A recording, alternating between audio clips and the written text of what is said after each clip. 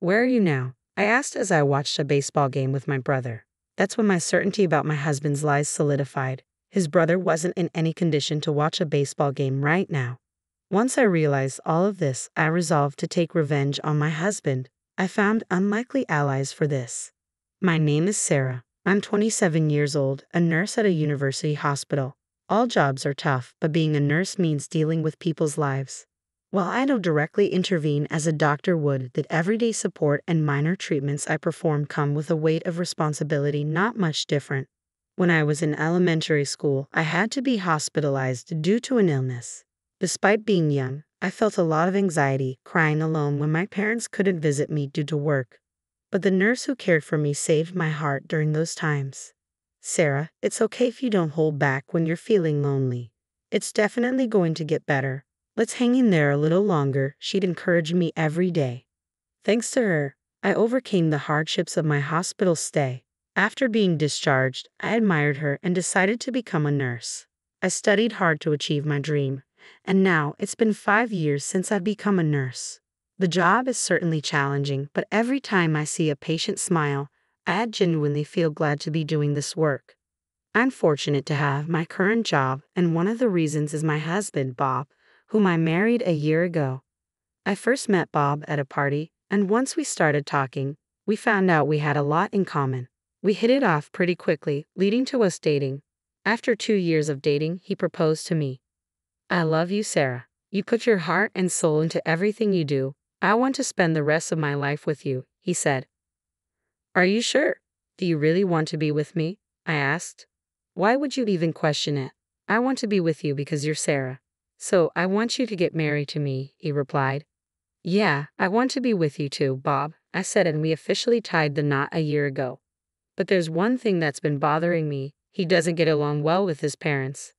Ideally, we would have wanted to hold our wedding ceremony when we got our marriage license, but he refused. He didn't want to have anything to do with his parents. So when we went to pay a visit to his parents to announce our marriage, it was hard to set a date. We somehow managed to pay a visit, but my husband was in a bad mood the entire time, and we only stayed for 30 minutes. We ended up getting married without having much of a conversation with my in laws. Of course, I'd like my in laws to attend our wedding ceremony too. So, I decided to be honest about how I feel. Bob, can we talk for a moment? I asked. What's up? He replied. It's about your parents. We also have the ceremony to think about, so I think we should go see them and have a proper discussion, I suggested. My husband let out a deep sigh and responded with an annoyed expression. Didn't I tell you before that I don't want to talk about my parents? As far as I'm concerned, I don't care if we don't invite anyone to our wedding. But we should at least invite your parents, Bob. That's enough. If you insist on having family members there, we can just ask my brother. Isn't that good enough? I reasoned. Well, I'd love to have your brother attend. But you're really persistent, Sarah. This is a matter of my family, so please don't meddle too much, he said with another sigh before leaving the living room. Alone in the room, I slumped on the couch, staring blankly at the ceiling, overwhelmed by a feeling of emptiness. It was such a shame that we were distant from my father in law and mother in law. They were such nice people. I wanted them to attend the ceremony, but what could I do to make my husband understand? Even after countless attempts, whenever I suggested, Let's go see your parents. My husband flat out refused. At some point, he would get angry just by mentioning them. One day, my brother in law and his wife were coming to visit us at our apartment. We had dinner together once when we reported our marriage, but although they lived in a neighboring city, it was the first time they visited us since our marriage. After 10 o'clock, our apartment buzzer rang. When I opened the door, there stood my brother in law, Jake, and his wife, Emily. Hello, Jake. It's been a while, I greeted. Jake showed a bright smile. Hey, Sarah. Long time no see. I apologize for dropping by unexpectedly. Hope you don't mind. Oh, not at all. Bob is waiting inside.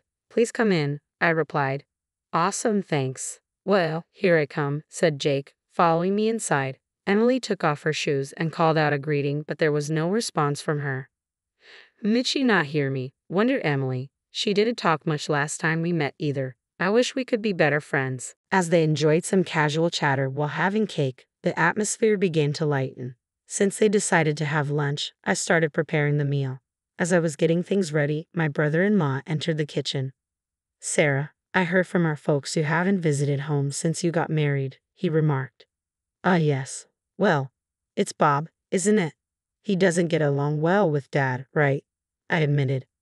That's right. I want my in laws to come to our wedding, but Bob is hesitant, I confess. Upon hearing my words, my brother in law made a troubled face. After pondering a bit, he said apologetically, I'm sorry. Bob's being stubborn. I wish there was something I could do about it. I'm sorry to cause you trouble, brother in law. No, no, I'm the one who should apologize for not being able to do anything. I'll try to talk to Bob about it indirectly. Really? Thank you. That would be a great help. Meanwhile, my husband and sister in law were having fun playing mobile games. Despite my worries, they seemed to be enjoying themselves. I started to feel frustrated with my husband. Just as my brother in law and his wife were about to leave, my husband spoke up in a stern voice. Hey, what's up? Did you say something to my brother? Why do you ask? When we were weaving, my brother said you should think about Sarah and confront our parents. You were chatting with him while making lunch, right? You stirred up something unnecessary, didn't you?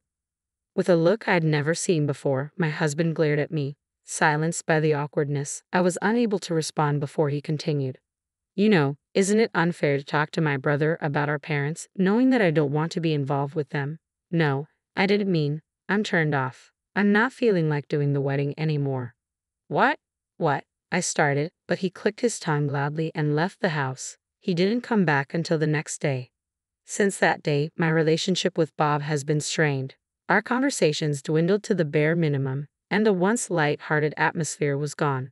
Then my husband's absences began to increase gradually, especially on holidays. He was almost never home. Suspicion crept in as he started going out more often. Gathering my courage, I decided to confront him. Hey, you've been going out a lot on your days off recently. Where do you go? I asked. Does it matter? Do I need to report everything to you? He replied sharply. What's with that tone? Do you have a reason you can't tell me? I pressed, half jokingly. His eyebrows shot up at my question. Flustered, he stammered, I, I've been going to my parents' house. Parents' house? Bob's, I clarified, surprised. Really? I mean, with the wedding coming up, Sarah wanted my parents to join us, remember? He explained hastily. Well, yeah, but if that's the case, shouldn't I go too? I inquired. No, no, it's fine. My parents would feel uncomfortable with Sarah around anyway.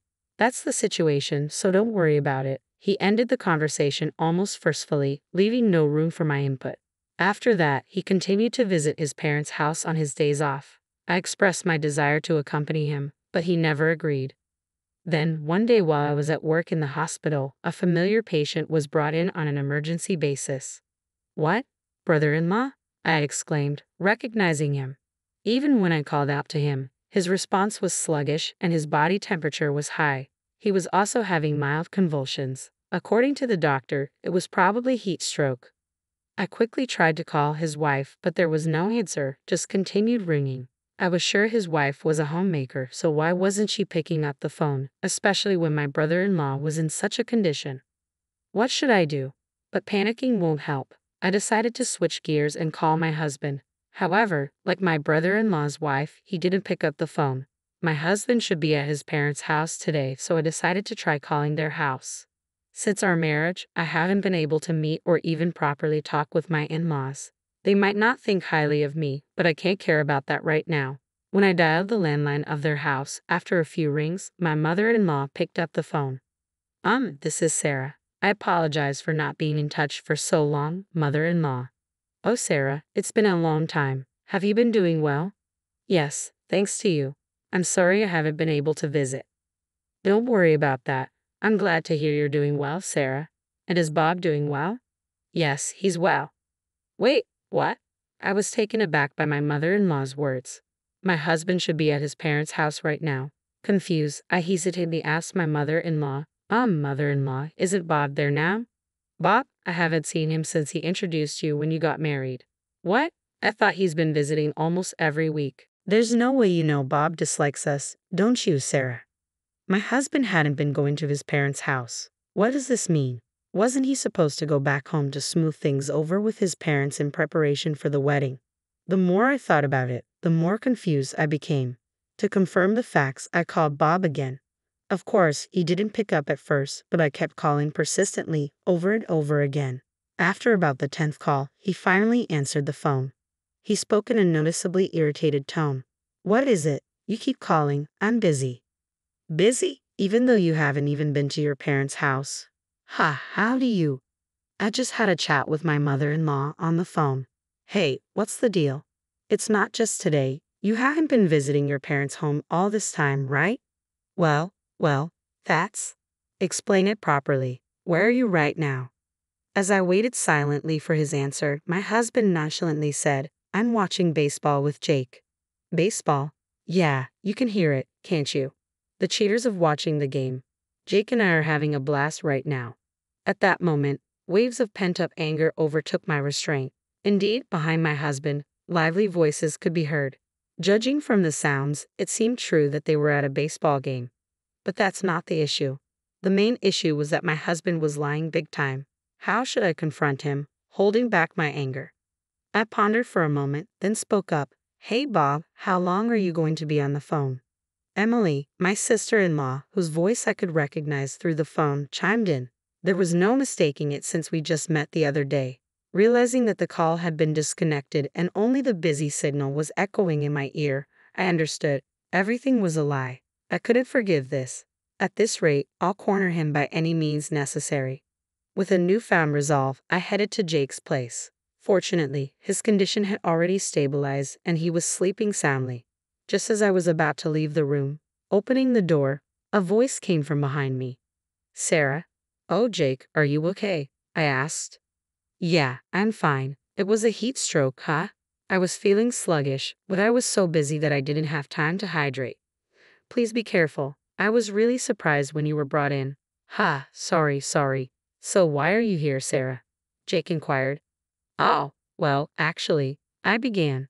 I informed Jake that my husband might be with Emily at the moment. Instead of being surprised, Jake smirked. I see you've noticed Sarah. By the way you're saying it, Jake, did you know about this all along? I asked. Yeah, well, I found out about a month ago, and I just started gathering evidence. But I've got more than enough evidence now, so don't worry, Jake reassured me. I see. I'm sorry. I didn't know anything, Jake admitted.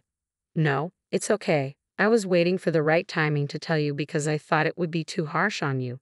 Though it turned out this way, I feel like I can finally move on. I replied weakly, though I felt an immense dislike for the two who made Jake and me feel this way. Jake laughed weakly, but he seemed somewhat lonely. At the same time, I waited for my brother in law's recovery, and then we headed to his parents' house together. Upon explaining the sequence of events to my in laws, they were momentarily at a loss for words. After learning the truth, with apologetic looks, they began to apologize. Sarah, we're sorry for our foolish son's affair. We never expected this to happen, they said. Please don't apologize. I'm okay, I assured them. But right, honey? Yes, apologies won't fix this. We're truly sorry, my husband's father added. It's okay. Instead, would you lend me and your son a little help? I proposed to my in laws. My brother in law and I each made simultaneous calls to his wife and my husband. Perhaps surprised to be called at the same time, Emily and my husband picked up the phone immediately. Hello. Sarah, what's up? What do you mean, what's up? You're with Emily right now, aren't you? I confronted my husband. What are you talking about? Why would I be with my brother's wife? He replied, but I heard Emily's voice in the background. When I called earlier and your brother knows everything, we've got concrete evidence of the affair, I asserted, my anger boiling over. Despite the evidence, my husband kept spouting nonsense, claiming it was a misunderstanding and he just happened to run into her. I was fed up with his lack of remorse and his constant prioritization of self preservation, even at this point. Out of sheer anger and feeling betrayed, I raised my voice Shut up. Misunderstanding. What are you saying? At this point, do you think such excuses will work? You took advantage of my feelings and betrayed me in the worst possible way. I will never forgive you. I'm divorcing you, you scum. Wait, I didn't intend a divorce. What? How dare you say that after cheating on me? Just so you know, I have no intention of getting back with you or that woman. I hope you both go to hell. Your parents won't help you anymore. Suffer for the rest of your life, regretting what you've done, you piece of trash. Without waiting for his response, I hung up. Shortly after, my brother in law and I went to the city office to get divorce papers. Eventually, my husband and I divorced amicably.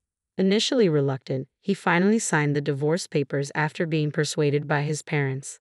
Of course, my brother in law's divorce was also finalized. We both demanded substantial alimony from them. Later, I found out that my ex husband had been involved with my brother in law's wife for quite some time. Apparently, he was meeting her during lunch breaks and after work, and their affair was exposed at the worst possible time by their coworkers.